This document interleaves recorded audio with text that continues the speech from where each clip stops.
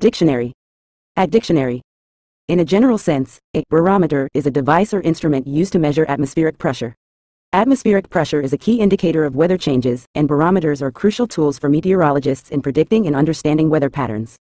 The most common type of barometer is the mercury barometer, which consists of a glass tube filled with mercury. Changes in atmospheric pressure cause the mercury level in the tube to rise or fall. Additionally, there are aneroid barometers, which use a flexible metal box to measure pressure changes. Beyond meteorology, the term barometer is often metaphorically used to describe something that indicates changes or fluctuations in a particular situation or condition, acting as a gauge or indicator.